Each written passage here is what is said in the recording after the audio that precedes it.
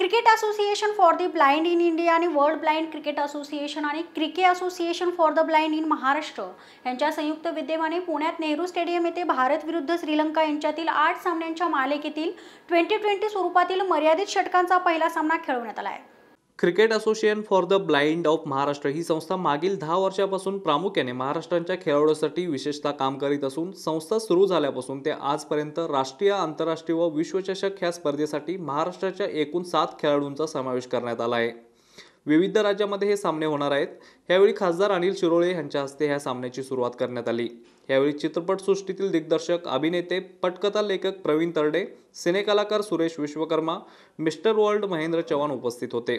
दृष्टीहीन क्रिकेट खेळ हा प्रामुख्याने आवाजावर खेळला जात असून ह्या खेळासाठी वापरला जाणारा चेंडू हा कठीण प्लॅस्टिकचा असतो. त्यामध्ये आवाजासाठी सायकलमध्ये वापरले जाणारे बॉल बेरिंग छर्रे वापरून हा चेंडू बनवला जातो.